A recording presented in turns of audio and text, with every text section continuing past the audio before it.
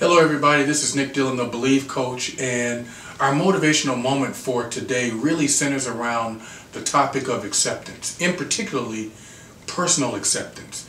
And personal acceptance, from my vantage point, really comes from the space of accepting who we are, accepting our flaws, our imperfections, and all of that that goes around our person.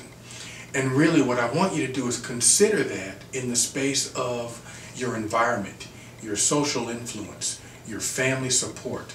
How well do you really accept who you are? It all stems and is grounded from our beliefs, the beliefs we quite honestly have around personal acceptance. What I want you to do is really work on that because in order for you to be successful in life, in a career, and even in a business, you're going to have to come from a space of starting with just accepting yourself for who you are, your abilities, the things that you can do in life, even your own efforts are going to start with what do I really believe about myself and have I truly accepted myself in this space today of where I am. And so as you continue to work on life and do things in life, if you find that you still have a challenge of personal acceptance, reach out to me.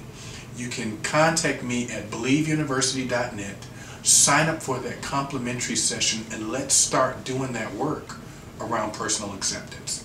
Make it a great week.